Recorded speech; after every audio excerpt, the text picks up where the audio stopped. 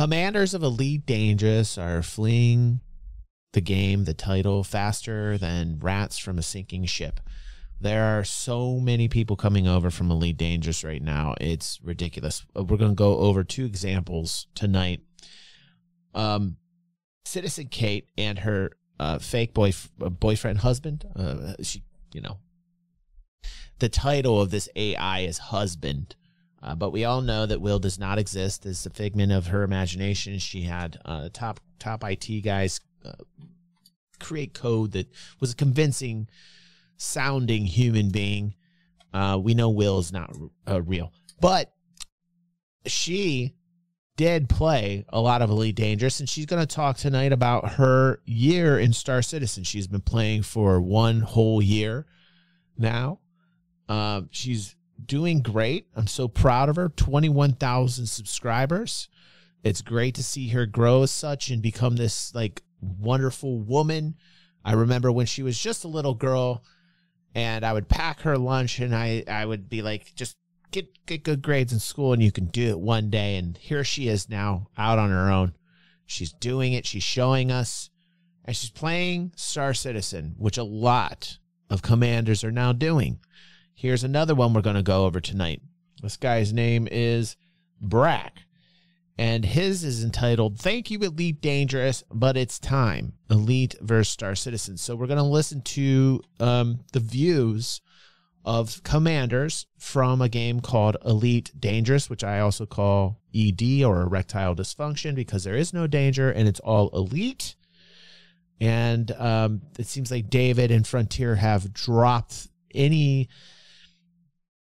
reason to make their game good. Uh, they've just decided to put it on the back burner and not care about it anymore. But we're going to listen to a lot of the. Re- I can give you reasons. I can give you tons of reasons. but we're going to listen to theirs tonight.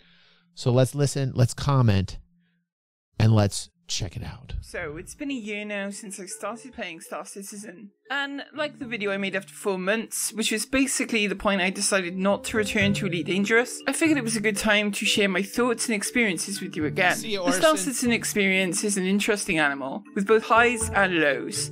And some of those factors only really become apparent over the long term. So most of what I spoke about in the 4 month video still applies, and I'm going to avoid retreading that ground as much as possible. You can go watch that video for initial reactions and impressions, and in this video we'll be covering what the experience of the game is like over extended periods. Also, I'm aware that some people find my voice annoying. I have an unusual voice caused by a condition called laryngitis Oh my goodness. This is the this is the state of of people, man. That that anonymity makes people really angry trolls and saying, "Oh, her voice," you know. It's horrible. It's horrible. Sicker. That's a throat condition that basically causes half of my throat to be covered in like a hardened mucus. It isn't something I bring up often Oh, because, Kate. well, the description alone is kind of gross and it Kate. makes speaking very forced and kind of painful. And sometimes it affects me more than others. That's but if you I do feel- find my voice annoying because of that, the TLDR of this video is that Star Citizen is great, but with some sizable caveats. This game is still in alpha and active development.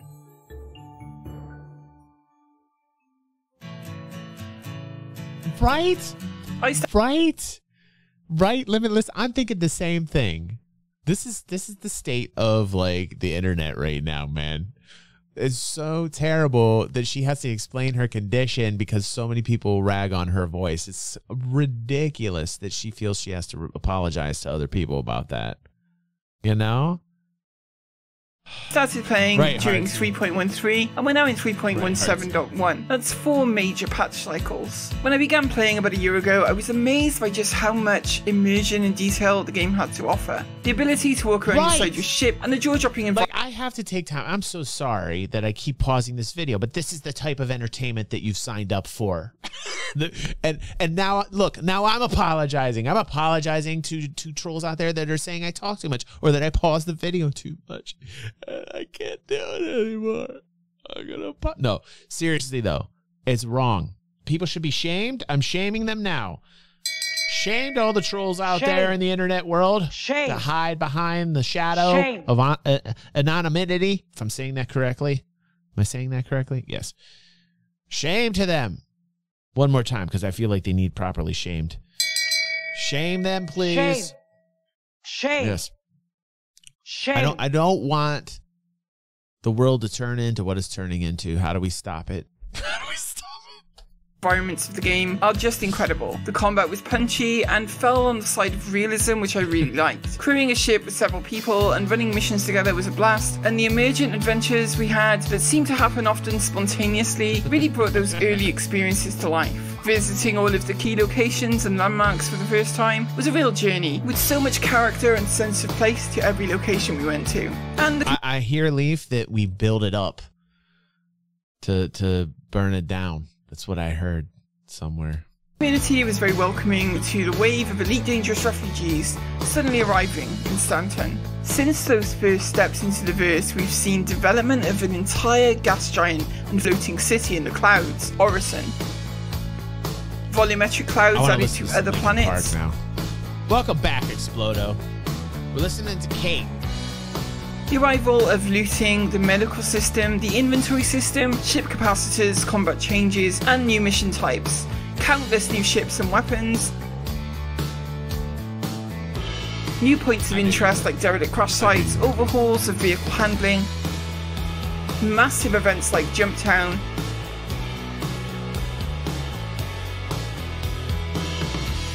What's with this track?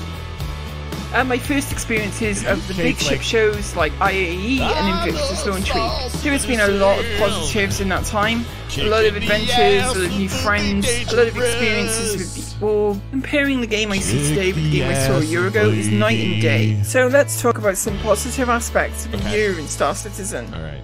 Yes. Positives this year. We're going to go through the positives. I like this.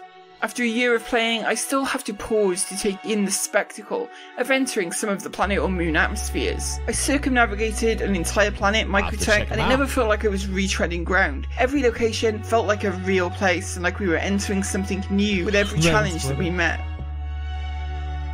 Crewing a ship with a bunch of other people and managing not just the travel and combat, but the logistics and survival considerations together, and often getting into unplanned adventures is remarkable. The Yes. combat always feels punchy, and during major events, things get intense. I am pleased to say And I'm pausing because Hartsy is absolutely right. Uh, we are scheduled for another pause here. Please, everybody, sit back, buckle up. Uh, it's I am your pilot. If you look to your left, you're going to see the giant fudge factory over Hershey, Pennsylvania. That's right. Now, if you look to your right, look out the window. Uh, you will see a giant black hole. It's scary. Uh, many people don't know that it's right over Philadelphia. Right over Philadelphia. saying that having to journey through your ship to enter or exit never gets old or boring. This was one Thank of many you. You cynical some- I like criticisms we he EV put the refugees were met with from the more He the shoulder senior detractors in that community. But no, it remains one of the most immersive and enjoyable aspects of the experience.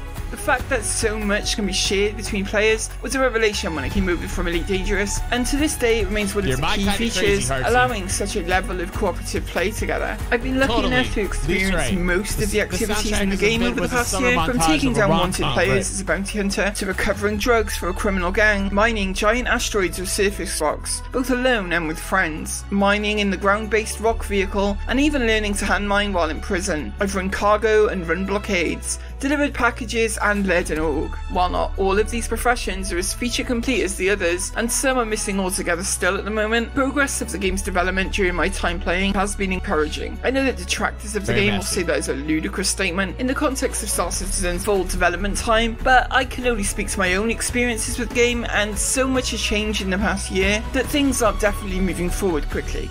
Professions like salvaging that are at present absent from the game are right on the doorstep now, and with server meshing and pyro now on the horizon, it is a very exciting time to be a citizen. With four major updates a year, spaced three months apart, progress on the game always feels like it's moving forward. Just when you're feeling settled with something, it's time for a new addition to the game, and the major changes come with many smaller changes too that sometimes can be even more of a boon than the major ones, depending on where your interests lie with the game. So with that in mind, what does a year in Star Citizen look like? Well, let's start with where many get their first experience? Oh, that's a great question. I think I need to do a video about that. What a year of Star Citizen looks like. That is the best meme video ever. Man, I could do a lot with that. I could do a lot with that. experience and some words of caution about it.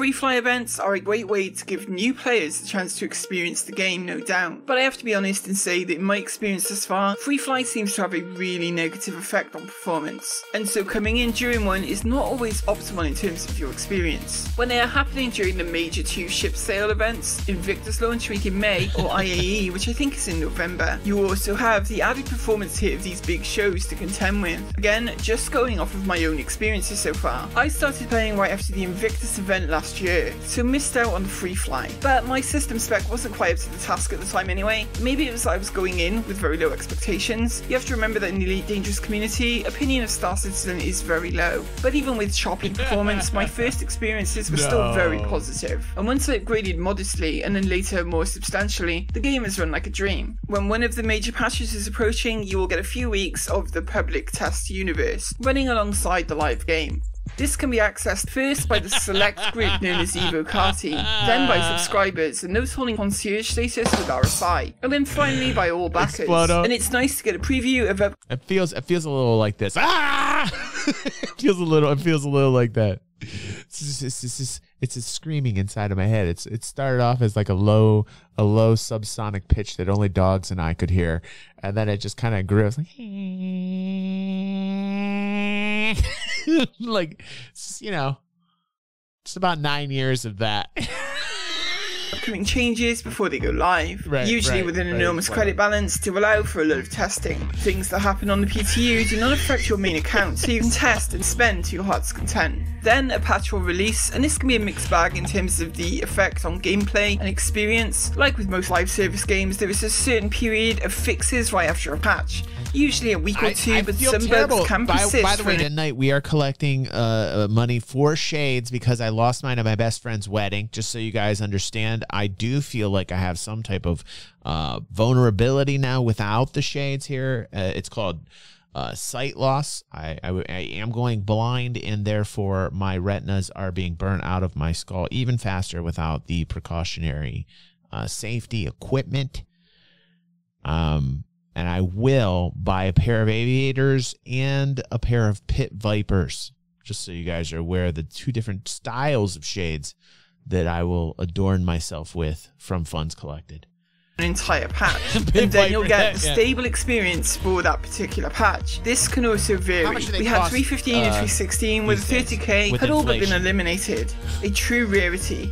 317 has seen it come back to a lesser but definitely still quite frequent occurrence. We just watched Generally, there is a lot of transparency Morgan. from Ash, CIG about these things, so if they are aware of problems, you'll know ahead of time. My experience using the issue tracker has been mostly positive, albeit we do have an org right, to upvote right. things if they are of severe hindrance to what we're doing. Once a major patch is settled, what you'll see is what we have for the next here. few months. The vast majority of the time, everything is working to a level that you need not worry about the bugs. You do learn best practices for any of the bugs that are player avoidable, and if you join an org, they will pass along to you their wealth of knowledge on these best practices. Star Citizen is 95% smooth gameplay and a lot of fun, 5% of the time getting knocked through the station by elevators flying through the air. As far as I'm concerned, Star Citizen is a playable game, provided you are in it for the experience rather than for any kind of solid progression. Some people want progression out outside of just seeing improvements in their own ability, while others can be satisfied with a sandbox experience where the adventures are emergent or of their own making. Both approaches have their merits for sure, but Star Citizen. Okay, in short, what she's trying to say is Star Citizen rules, Elite Dangerous sucks, deal with it. And I think that was a great video. Thank you, Kate. Thank you. Now, we will be watching this other commander here, probably saying the same thing in a different way. Now, before uh, we get into this, we had a comment back here when I was talking about my Shades Fund. I'm trying to see who said it. I believe, let's see here, Billy Angel Billy Angel, you said, thanks for the in the arms of an angel speech. Yes, we had this happen before to us four years ago when we recalled the games, but had to rename because we were worried about YouTube's new rules. anyway, This is our pledge drive here. I'm going to use it again. I'm going to reuse it like it's brand new because people don't remember this. Let's watch together the Save the DG360 Foundation hashtag Life Matters.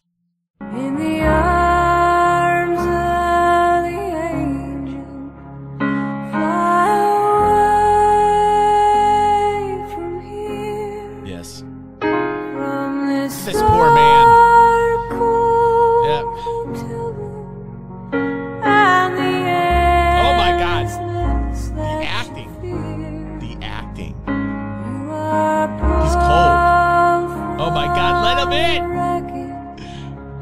of your silent reverie. Let that man in. You're in the arms of Hi, I'm Christy. Will you be an angel for a helpless gamer? Everyday innocent gamers are trolled, abused, beaten, and neglected, It's true. and they're crying out for help. It is. Please click the link in the description below right now. For just a dollar a month or less than four cents a day, a you'll help rescue this gamer and provide medical care, food, shelter, and love. Join online in the next 30 minutes and become a VIP member at a low, low cost of $5 a month.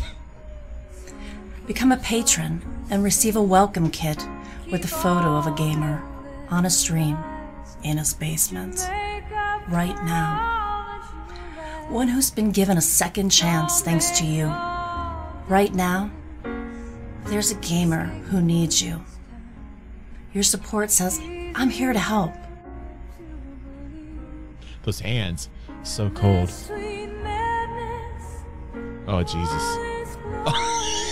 Please donate right now. I, I, I don't remember. I didn't remember a lot of this other than the, we.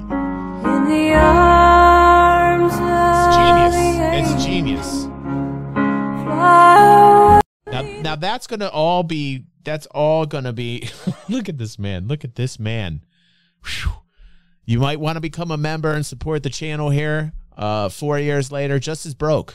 That's ironic. Um, you have a talent here, right? I won't say it's me, but it sure looks like me. And we need to help this man, who is also me. Uh, sometimes I don't feel like me. Sometimes I don't know who this is. Uh, but I know he needs help because I need help. I feel his pain because I am him.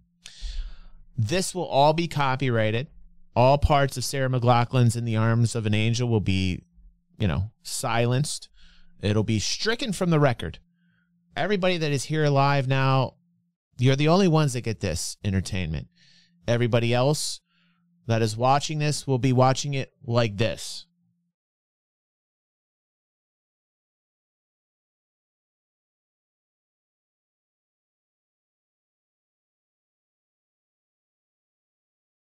And that's unfortunate. that's really unfortunate because there's only 22 of you here, and probably a small percentage of you, if any, will actually help. I feel very saddened about this. There should be 22,000 here, but just like four years ago, I also had 22 people on my stream. and this is what you can expect here DG360. I remember how cold this was. No, no shit. This was on New Year's of 2018. Okay. Do you see that frozen tundra behind me? This is Lake Erie in January. like, it looks like I'm at the North Pole. I so badly want to get out of Ohio. Please consider become a Patreon or a YouTube member. Please, for the love of God, I hate Ohio. I just need to get out of this state. Look at it. Look at it. Look at the tundra. Short, short, short weather. Right? Hey, what's up, Nair? Welcome to the hilariousness. Are you enjoying yourself here, Nair? I hope you are. It's glad. I'm glad you decided to chat. First time chatter, everyone. Round of applause. He grabbed himself by his cojones and he said, I must speak. I must be out there amongst the masses of people. Wow. You really grabbed your cojones and you showed up for the party. Thank you, Nair. We appreciate you, and we will never forget you. Um, so like you guys should take some time tomorrow morning. We are going to go over some older vlogs. Uh, we're gonna you know just shoot the, the stuff tomorrow on the morning stream. It's going to be a lot of fun. Let's see what this guy has to say now that we've completely muted out the middle part of this highlight and getting back to our point here. Thank you, Billy Angel, for that. Billy Angel, give him a round of applause, Billy Angel, for bringing us that segment. This applause goes out to Billy Angel. Billy Angel, we appreciate what you do for this stream, bringing us the best entertainment that we have ever seen on Twitch, brought to us by Billy Angel. Thank you, Billy. Now, Elite Dangerous sucks. Let's get back to the point, okay? I mean, really, screw that other dude and Sarah McLachlan. I will talk more about that tomorrow. This guy here has some real issues. He's he's not freezing. He's not freezing in Cleveland. Uh, but he is you can see by his face something serious has happened. I think he cut it. Hello, everyone, and welcome Oh back to the channel. And in this one, we're going to touch on another space simulator game that's been around forever, and that's Elite Dangerous. Yeah. I mentioned in my Star Citizen video that I would jump Oh. back in and have a look at Elite Dangerous. So What's up, feathers? here we go. I've been seeing I'm you on to give you a YouTube little bit of and in the Discord. What's up, the bro? game Elite. So the original concept for it started back in 1984 with the aptly titled Elite. It was actually written by a guy called David Braben and another one called Ian Bell. This was one year before my birth, so I didn't get to see much of that one. However, there was a sequel to that game in the form of Frontier Elite 2. Now, Frontier Elite 2 was released in 1993, and I actually played this game on the family's Atari ST. Yes, I'm still old, don't worry. This sequel actually this. had a lot first to its name, including being the first game to have procedurally generated star systems. DY, the game did you had ever an play that one, entire buddy? Galaxy DY maps, loves and this this was retro. huge for 1993. It even made it into the Guinness Book of Records. It was It's where I also one of the contain all my first huge First off, games. first off, first off, hold on. Hold on. Hold on a second. Somebody just dissed soul patches here, and let me just say something really quick here. Somebody just dissed soul patches. Hartsy, this is going out to you. Take a big step back and literally fuck your own face! Soul patches are where your soul is contained. Do you understand? You have additional soul. If you have a soul patch, this is where all of my soul is. God forbid anything ever happened to it. I would never be myself again. as well. The graphics, as you can see, they look awful now, but back then this was exceptional, uh, especially as there wasn't many 3D games around. Elite 2 enabled you to dock on planets, I like and that. space stations, have dogfights, trade, and essentially just create your own adventure. Elite 3 came out in 1995, but I never had that one as we weren't exactly loaded back in the day. Now moving It's on covered to with Elite titanium. Dangerous. Having struggled to get funding from a publisher, Frontier, which is David Braben's company, yes, David Braben has been involved in every Elite game since 1984. Now that is some damn commitment. What's up, Boom? They began Welcome a to the Kickstarter stream, bro. campaign in 2012, and the game was released He in was not. 2014. Were you here? Yeah, no. Hartsy was here for the when I almost died from from dyeing my mustache orange and yellow like the Argo. Harsey, Hartsy, you saw that where I breathed in the toxic chemical dye. We sprayed my mustache, and I, I absolutely like had orange and yellow lungs for like three weeks, and I was coughing up chemicals for everybody because that's my commitment level to the stream. You remember? God, it makes me turn into Sam Elliott, and then I'll talk like this, like Sam Elliott, and I'm watching this video about Elite Dangerous, and, mad at Sam Elliott, I talk like this, and I get mad, you don't understand nothing I'm saying. Like, I miss, I miss the stash, because I would invoke Sam Elliott quite often, and I really miss invoking Sam Elliott. I have to do it. Now, Christy says that's a bad Sam Elliott. I I would have to disagree with that. I think that's a spot on. Okay, if you think that's a spot on Sam Elliott, I want to see ones in the chat, please. I, I want to disprove Christy because I will show her this segment of the show when I go up there to the weekend. it's a little closer to Rip Torn. He says a zero, a zero. Really? Oh, a minus three. Did you not hear the Sam Elliott in that? Oh my god! I'm, oh my god!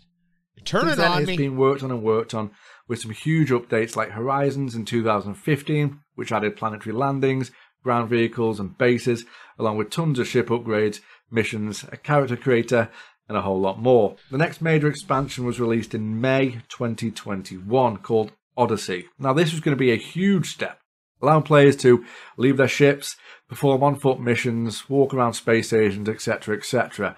However, the update was plagued with bugs and received an unfavorable Bugs. rating on the Steam store. It's still not quite where the devs want it to be, and I'm sure they're working hard behind the scenes to try and set this right. Fingers crossed. No, no, they are not. They are literally doing the exact opposite of that. We know this for a fact. There is no attention, there's no ambition, there's no focus. Frontier Development and David Braben have decided to basically just say, hey, let's write off Elite Dangerous. Let's focus on Jurassic Park. They're going to make that Jurassic Park money now. crossed. So there's a little bit of history with break for you on the world of Elite, and now I'm going to show you some gameplay, albeit rather awful, as I'm about as rusty as Lance Armstrong's bike.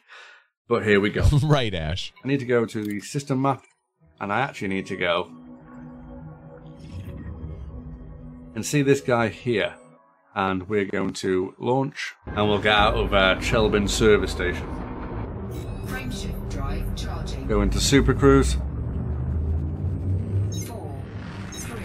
We're about to see the same animation over and over again. I think most of my time playing Elite Dangerous is this animation right here. You know, I, I can't count the amount of life I have wasted watching the same animation over and over again that sends you nowhere but the same copy cut NPC, you know, lifeless uh, space that Elite Dangerous has become. to the trophy camp. I love. uh, Listen, I still love the flight experience. I still love the fact that you can target sections of the ship. I still feel connected to the inside of the ship. You know, there there are some good things about Elite Dangerous. Everything except its community. Everything except its community. Press docking. There we go.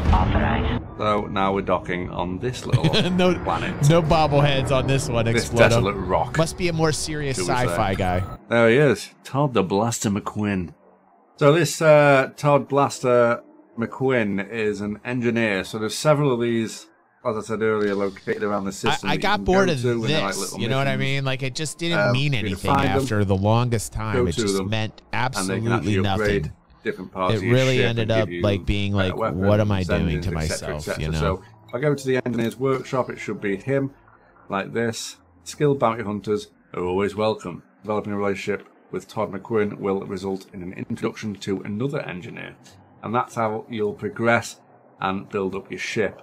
So this game takes it takes time and patience. It's pretty chilled out, obviously, unless you get into dogfights and stuff. Um, but to get from one place to the other may actually take a hell of a long time. Right, so there's the, there is aliens, obviously, on this game, uh, and you can actually get ripped out of this jump, and it scares the crap out of you. It's just a big ass alien ship that's just staring at you.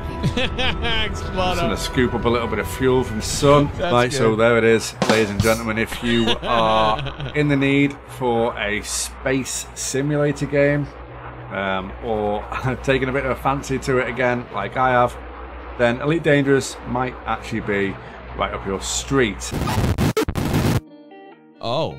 And it might be exactly what you're looking for. Oh, listen, listen, listen. It took this guy this long to get to the point. We're now like five minutes in, and like I just feel like it's just time wasted. But okay, let's listen. However, after my previous video, which was on Star Citizen, I had a few comments on the video to help me. And one of the main helps was telling me to put Star Citizen on my SSD, which it, it actually wasn't at the time. Soul searching. ED isn't good. Star Citizen is. So I, I like the music he's got here. the performance would be any better.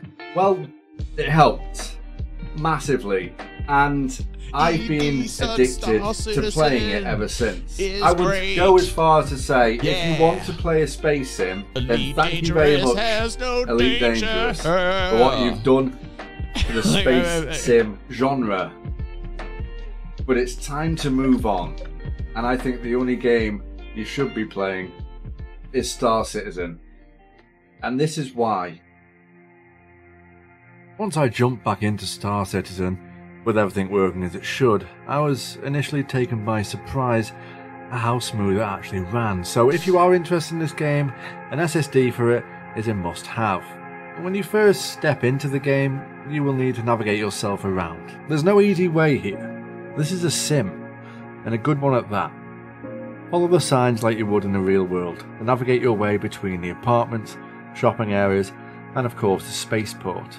Each port or station looks and feels different, and if you planetside, you will have to catch a train on the metro, which in itself is rather impressive.